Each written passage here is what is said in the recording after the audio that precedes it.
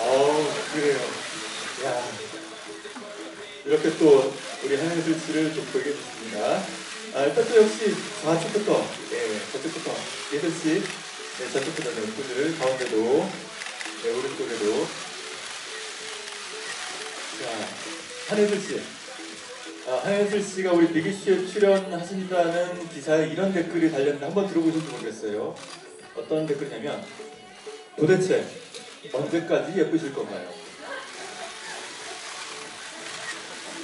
네, 감사합니다. 모든 분들이 많이 공감해 주셨습니다. 예쁘게 하트 한번 해주시죠. 하트 한번, 네.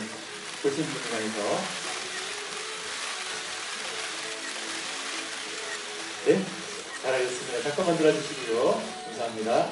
자, 손해통신 편집장 주, 어, 지수인 역의 한혜슬 씨 모시겠습니다. 예슬 씨 가운데 나와주시죠. 김보 씨 감사합니다. 어우, 그래요. 야. 이렇게 또 우리 한혜슬 씨를 돋보이게 됐습니다. 아, 일단 또 역시 좌측부터, 예, 저쪽부터 예슬 씨, 네, 저쪽부터 멘트들 가운데도, 네, 오른쪽에도. 자, 한혜슬 씨. 아, 한혜슬 씨가 우리 비기쇼에 출연하신다는 기사에 이런 댓글이 달렸는데 한번 들어보셨는지 모르겠어요. 어떤 댓글이냐면, 도대체 언제까지 예쁘실 건가요?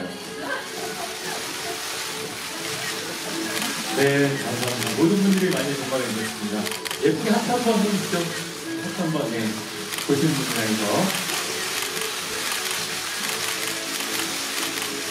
네, 잘하셨습니다. 잠깐만 들어주시고요. 감사합니다.